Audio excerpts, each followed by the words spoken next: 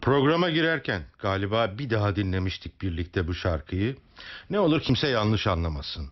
Yani bazı e, şarkılarda Türk sanat müziğinin hassas terazileri belirli sanatçıları tercih ederler. Daha iyisini dinleyene kadar. Mehmet Barlas da herhalde bu şarkıda gözün değişmez için aynı şeyleri düşünüyor. Yani Güzin'le bir araya geldiğim zaman hemen bu şarkıyı söyledim İşte. ben zaten.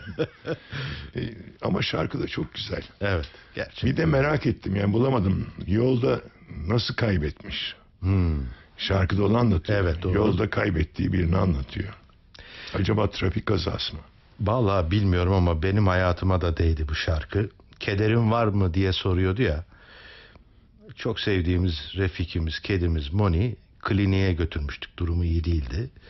Telefon geldi. Bu şarkıdan önce din programa hazırlanırken gittik. Kaybettiğini öğrenimizi öğrendik. Yani e, kötü haber aldık ve sızısı geldim oturdum bu şarkıyı karşımda buldum ve dinledim.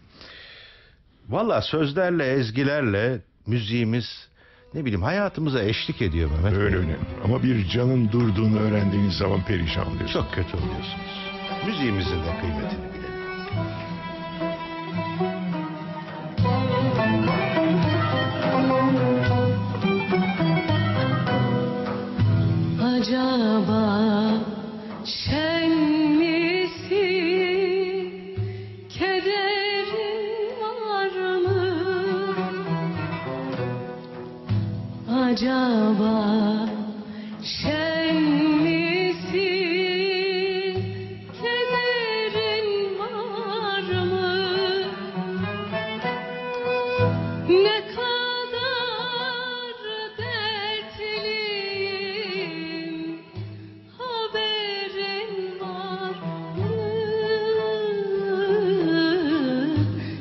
kadar dertliyim